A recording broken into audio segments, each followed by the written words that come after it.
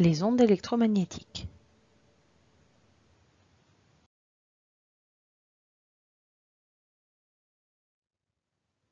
Les ondes électromagnétiques peuvent se propager dans les milieux solides, liquides et gazeux.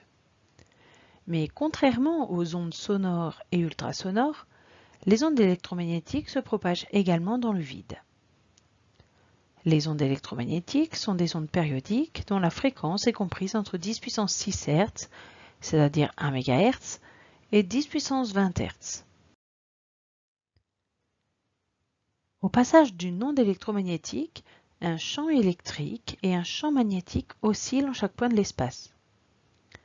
Tous deux sont perpendiculaires à la direction de propagation de l'onde et sont perpendiculaires entre eux. Voici le spectre de la lumière blanche. À chaque fréquence du visible, on associe une longueur d'onde dans le vide, notée lambda, exprimée en mètres ou dans ses sous-multiples, comme par exemple le nanomètre ou le micromètre. Pour chaque valeur de lambda, on associe une couleur.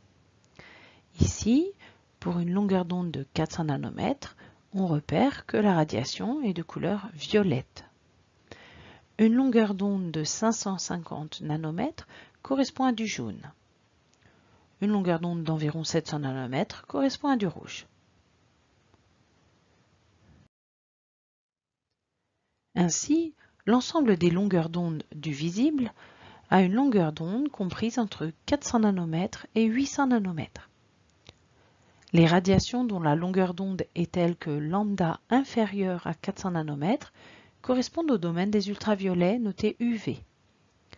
Les radiations dont la longueur d'onde est telle que lambda supérieur à 800 nanomètres correspondent au domaine des infrarouges notés IR. Dans les milieux transparents et homogènes, comme l'air, le verre et l'eau, la lumière se propage en ligne droite. On parle de propagation rectiligne de la lumière. Dans le modèle du rayon lumineux, on représente la lumière par des segments de droite orientés de la source vers l'extérieur. Sur le schéma, la source notée S émet un rayon de lumière représenté par une ligne droite en violet fléchée qui peut arriver par exemple vers l'œil. La vitesse de la lumière dans le vide, appelée aussi célérité, ou dans l'air, vaut c égale 3,00 10 puissance 8 mètres par seconde.